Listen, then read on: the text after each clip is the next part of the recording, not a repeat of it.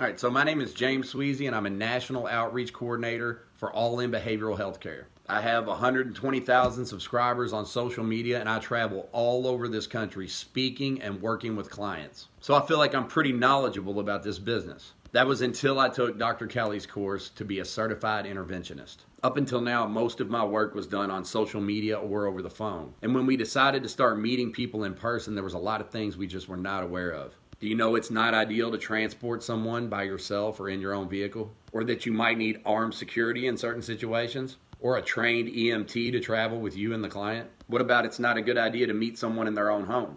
Or that there's a specific seating arrangement unique to each intervention? Do you know about the trash bag versus the suitcase? What about all the forms and documents that have to be filled out to do this the right way? Look, Dr. Cali provides you with everything you need the training, the paperwork, and the processes to follow to make sure you get paid, but most importantly, to make sure everything is safe for you, the family, and your client. And after you complete training, Dr. Cali will add you to her online support room so you can get more business, more information, and stay plugged into her global network, all with the purpose of making you very successful at what you're trying to do.